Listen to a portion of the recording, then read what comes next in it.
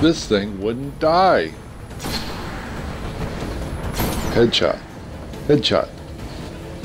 Uh, try this. Finally. Back to normal.